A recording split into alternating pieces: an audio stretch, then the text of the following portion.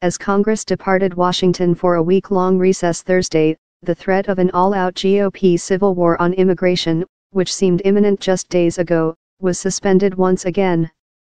After a group of moderate Republicans vowed earlier this month to force a vote on a series of immigration bills against leadership's wishes, members left D.C. with more signatures, but without the last handful they would need to bypass committee and bring the bills directly to the floor. Instead, members on all sides of the debate are holding out hope that negotiations with Republican leadership could yield a more uniting outcome. We are continuing to move forward as exhibited today with more members signing on, but, we are trying to allow negotiations to continue to happen. We were very productive and very close yesterday, said Representative Jeff Denham, a Republican from California who is leading the effort. Related, who has signed the DACA discharge petition as of the Thursday, the discharge petition has 213 signatures of the 218 it needed to automatically trigger a vote next month on a series of immigration bills. Only one Democrat has said he won't sign the bill and 190 have signed it. If Democrats get 192 of their 193 members to sign it, only three more Republicans are needed to break 218. The issue of immigration has long exposed deep-seated political rifts among House GOP's rank-and-file members, which is in large part why leaders have worked behind the scenes to whip against the moderate effort to force a vote on issues from border funding to citizenship. Leaders have discouraged members in private meetings from signing on and most recently have worked with conservatives and moderates to negotiate a separate deal that could come to the floor instead. A source familiar with the negotiations told News Total that lawmakers were still stuck, however, on the question of citizenship and whether conservatives could support a plan that would give recipients of the Deferred Action for Childhood Arrivals program a bridge to a green card that they could eventually use to apply for citizenship.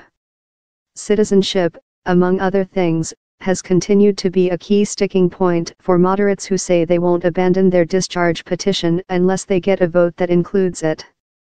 Related, immigration talks in Congress hinge on DACA citizenship for us, a bridge into the legal immigration system for young immigrants brought to the country as children through no fault of their own is non-negotiable, and if some colleagues want to continue insisting on denying that, well, there will be no agreement, said Representative Carlos Curbelo, a Florida Republican who has been leading the moderate group's efforts on the issue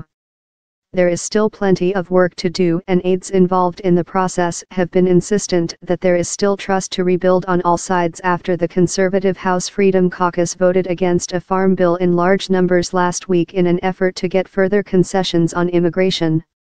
But, leadership has managed to regain some control in a week that started with questions about whether House Speaker Paul Ryan, who has already announced he will retire in January 2019, should be forced to step down sooner than later.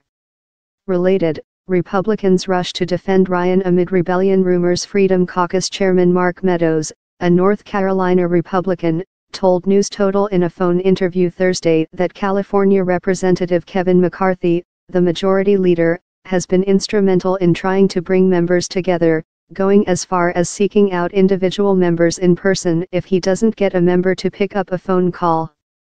Meadows added it had happened to him. I think having Kevin McCarthy on one day and then Kevin and the Speaker in the next day bringing everyone together to try and negotiate an immigration solution is certainly to be applauded and it is one reason why we don't have the full numbers on the discharge petition but it is also a reality that those who want to sign onto the discharge petition have several more days, Meadows said.